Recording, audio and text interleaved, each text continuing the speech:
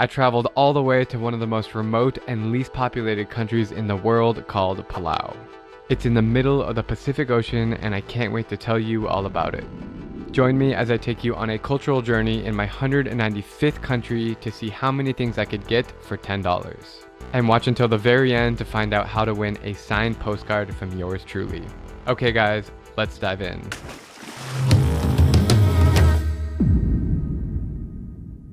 What's up guys, my name is Drew Binsky and in this video I'm going to show you what $10 can get you in this beautiful country that you've probably never heard of before called!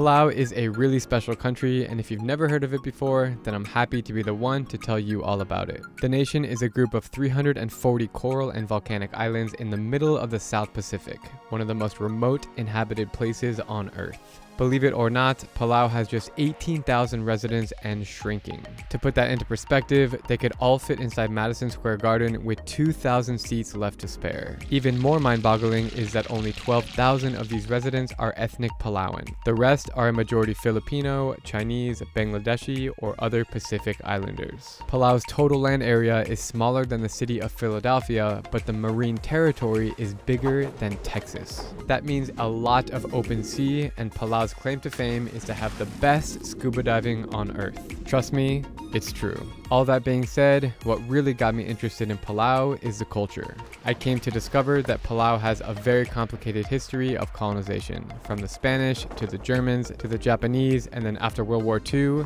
to the Americans. That's why today, Palauan society is largely influenced from the United States. The education system, the currency, the language, and the overall life.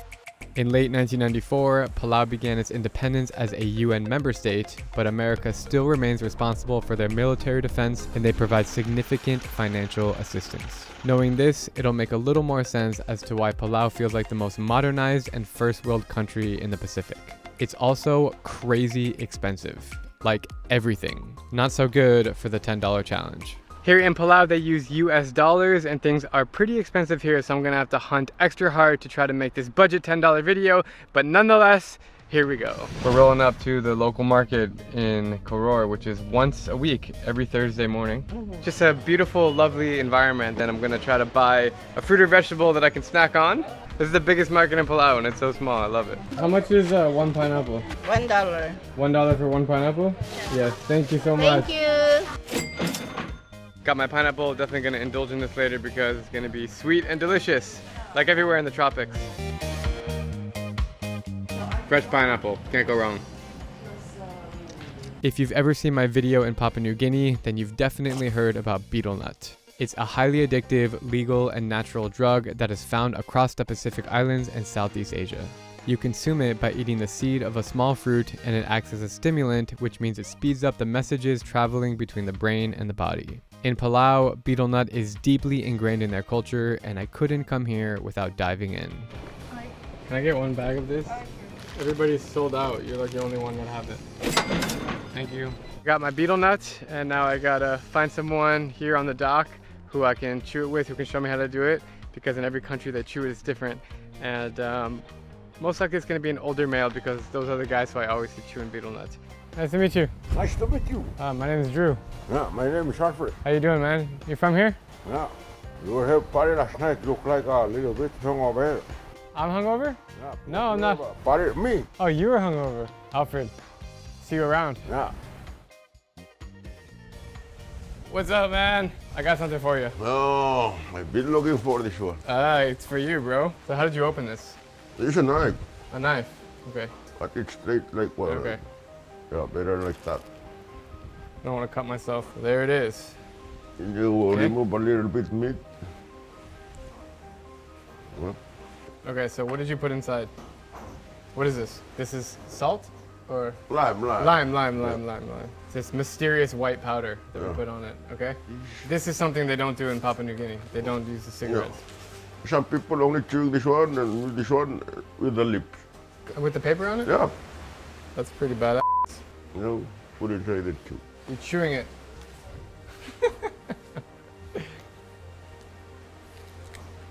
Tastes very bad. Yeah. For you, it's very bad, but for me, I Very don't mind. Most of the people in Palau, they always do that. After they do anything, or after fishing, or after eating, How many of these do you put in your mouth at once? maybe more than 20 beer nut I chew in one day. And we never run out of food.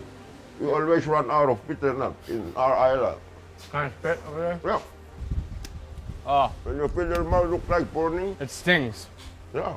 And that's all you do. You just chew it and enjoy life. Well, How does it make you feel when you take betel nut? make me feel strong. And what happened when you don't chew it? How do you feel? Feel very lazy. I feel like major rush. If you chew with the lips one time, sometimes you feel really like, That's how I feel. So, yeah. think I'm gonna spit it out now? Yep. Thank you for the betel nut uh, tutorial. I headed back to the main part of town to meet up with a super cool friend who I will be adventuring with for the rest of this $10 challenge. I'm here with my local friend Sachi. Hey, Ali. Ali means Hello. Ali means hello, Ali. And we got connected through Instagram. She's been living in Taiwan for a little bit, but she's born and raised in Palau. She's very Palauan, and thankfully she's here at the moment. So we're gonna be exploring Koror today. Tell me about Koror. What's Koror like? Koror is like the city center of Palau. Mm-hmm. So right here you'll get all the stores, all the markets. Everybody is basically based in Koror City. So we'll get to see a lot. From being overseas for a little bit, when you come back here, how does it feel? It feels like home, as cliche as that sounds, but I just feel like I breathe easier, I'm more comfortable, my guards are down, and everywhere I look, I see family or friends, so I just feel safe. Absolutely. So at the moment, I'm feeling a little bit hungry, and I'm shooting a $10 video, which means I want to try to get some good local food. So what do you have in mind for that? Llanos. What is Llanos? Llanos is like a local market that we have here. It's a family run and it's been in business since like the 40s, so. If that's what she says, then Llanos it is. We're at Llanos Local Market. All local food, all made fresh daily, and it's mm, delicious. Go for it. When in Palau, I think it's necessary to eat fish. But how much is one fried fish? Three dollars. Okay, the smallest one? How much do you think? two dollars. Okay. Can we do one small fish? You want red snapper? Yeah, the smallest one. That's point three. Awesome. Thank you so much. You're welcome.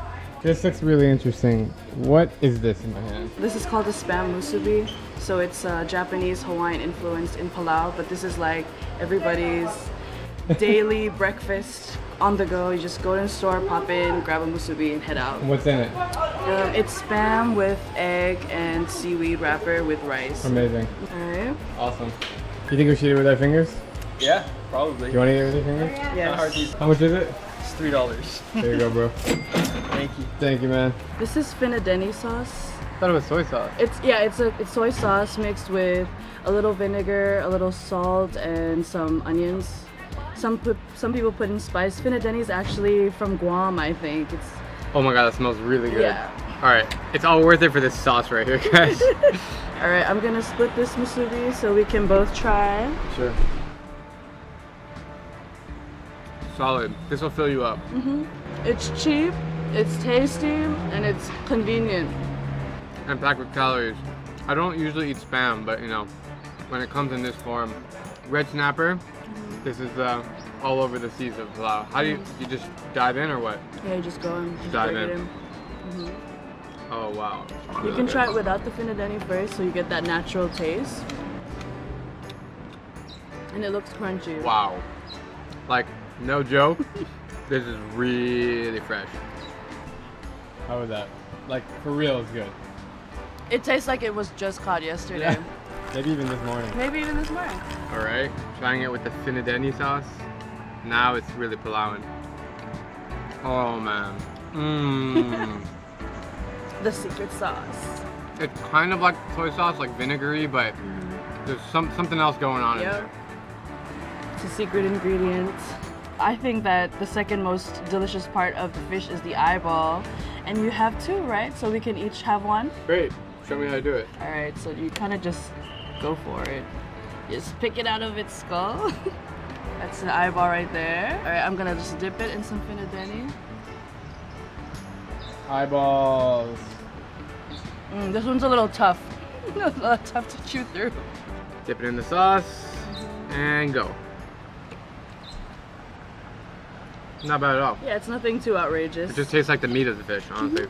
Guys, quickly, a 30 second intermission. I just picked up these 10 awesome postcards from a souvenir shop here in Palau. You can see it's the Rock Islands, the most iconic landmark here, and they can be yours. All you have to do to win is to join my free travel email newsletter, which I send twice a month. The link is down low in the description, as well as follow me on Instagram at Drew Binsky, where I share live updates behind the scenes from my travels around the world. And I'm choosing the winners in exactly 24 hours from now. I will be writing a personalized message from yours truly, shipped worldwide to your inbox, to your email. So good luck, and that is all. Back to the story. Even though minimum wage is $3.50 an hour and things are really expensive, I've been really surprised to notice that there are no homeless people. The reason why is because there's a huge sense of family and community, and everyone looks after each other. It's very deeply rooted in our culture to give what you can when you when you have it so that when you are in need yourself, they will provide for you whatever they have.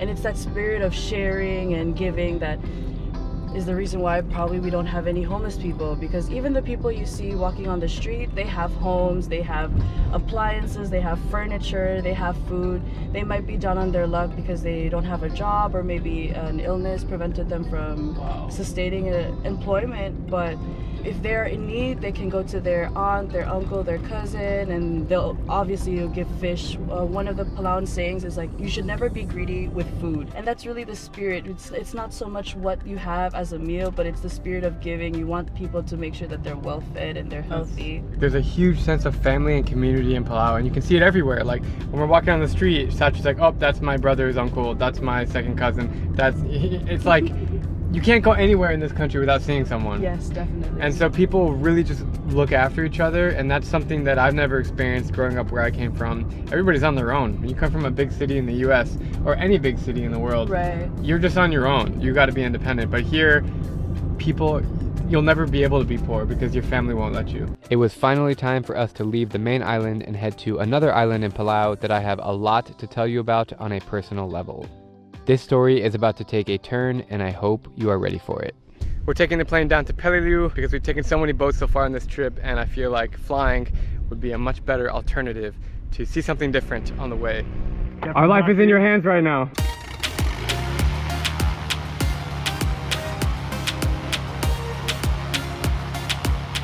While the airplane ride was nothing short of spectacular, it comes with a heavy heart to arrive in Peleliu. I have known about Peleliu since I was a little kid because my grandpa Jack always told me about it. He was a very proud Marine who fought in World War II. Although he was stationed in the Philippines for two years, he was called down to Peleliu to take part in one of the bloodiest battles in the Pacific where almost 10,000 lives were taken. My grandpa told me harrowing stories of what it was like to arrive on Orange Beach and the scenes that he witnessed with his own two eyes. Before he passed away peacefully a few months ago, he told me details about his experience in Peleliu, the place where he got shot in the leg nearby a three story building that he recalled was some Japanese headquarters. We were there for about 24 hours. And what, what do you remember from those 24 hours? What I remember was that we laid up about 500 yards from the main building by the shore, and uh, we were marched into the, the area where they had a uh, building. That was the very first place I visited, and it was an out of body experience to stand there and imagine my grandfather at 19 years old fighting for his country. He told me he was here for like the worst, the worst of the worst. And he saw many things that no human should see. And he actually had a sword that he showed me that was taken out of a Japanese soldier and it still has blood on it. And I remember that as a kid. He told me about that. And he got it in Peleliu, which is just bizarre to think about. I mean, this is my grandpa. This is just two generations ahead of me. Lived a great life. Was a true American hero, honestly. Marine, businessman, family man, father, grandfather, great grandfather. It's really special to be here. The entire island of Peleliu today is basically a museum with artillery, relics, and untouched pieces left over from the war. You can walk around the trails and find items like a spent shell that was shot and left in its original spot 80 uh, some years ago. You really get to appreciate the historical context of an item when you see it out there Yeah. in its environment. Just a few months ago, Grandpa was telling me before he passed away his stories in Peleliu, and he remembered being in this building where he got shot in the knee and I believe this is the building. Can only imagine what it was like to be here. At least before he passed, I got to tell him I'm coming here and I'm gonna trace his footsteps, so at least he knows that. This place is eerie, it's haunting.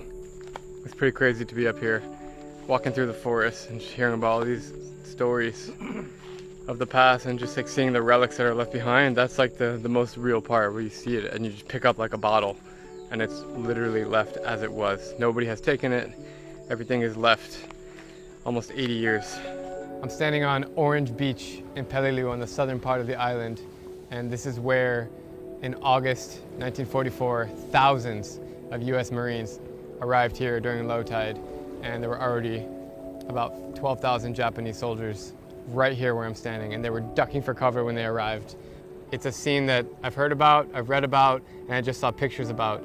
And to stand here right now is very tough, honestly, to imagine what my grandfather and his peers went through. All of these heavy feelings aside, there's still about 600 people living in Peleliu today who are so friendly and introduced me to a more unique side of Palauan culture that wasn't so present on the mainland. Sachi is originally from Peleliu, so she was able to give me a pretty cool insider perspective on the lifestyle and cuisine on the island. As we were wandering around, I came across this beautiful old lady who was making baskets with her bare hands. My curiosity led the way from here. This woman, she's actually from my village as well, Ngardalo. Her first name is Sasako. Ali, So, what'd she say? other song is like good afternoon. Oh, good afternoon.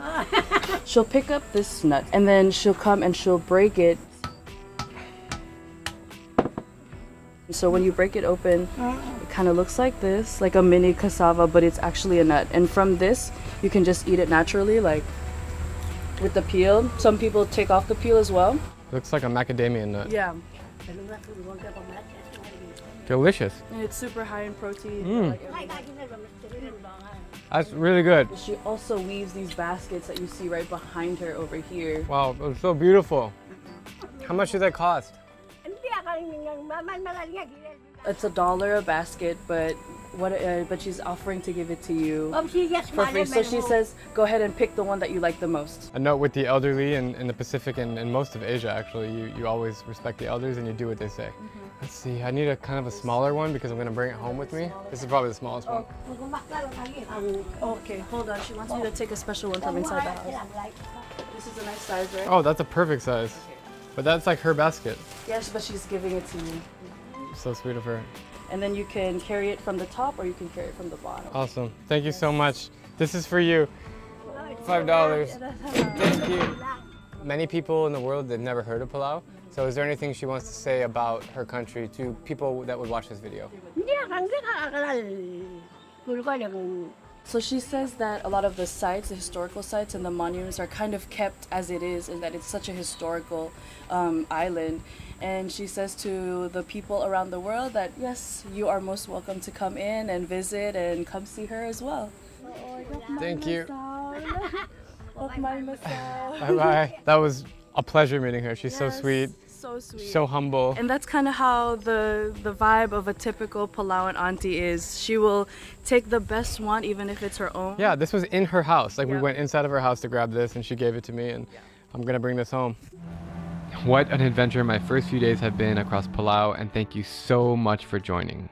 For me, it was a roller coaster of emotions, but in the end, it all comes down to humanity. And Palauans are some of the most hospitable and respectful people I've met in a very long time. This country is special and I can't wait to see more over the next 10 days. But to wrap up this video, I was able to purchase a pineapple, a sack of betel nut, a local plate of fish, and a handmade basket for exactly $10. And that, my friends, is what $10 can get you in this incredible country called Palau. Thank you from the bottom of my heart for watching this video. I always say that at the end of my stories, but it's the truth. You guys are the best. You keep me going. I really appreciate it. Lots more incredible content coming from Palau. This is truly a gem of a country. Hit me up on Instagram to follow my trip in real time at Drew Binsky. I'm posting a lot of really cool stuff there. And uh, yeah, I'll see you guys next week for the next video. Peace.